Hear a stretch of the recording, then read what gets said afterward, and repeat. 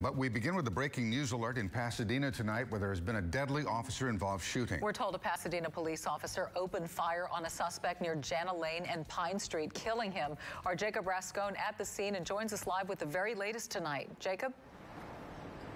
Dominique and Bill, it started as a routine traffic stop just behind me. Somebody that had run a stop sign was pulled over, but then that person took off running and he took off down the street here tossing baggies of something as he went.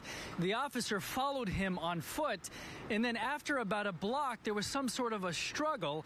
The officer opened fire, and the suspect is deceased. Uh, all we know right now is there was some sort of a struggle. Uh, over the radio, we could hear the call of shots being fired. He obviously shaken up. Uh, you know, anytime you go through something like this, is very traumatic. Uh, so our hearts go out to everyone involved, obviously. Uh, and like I said, the officer's very shaken up right now.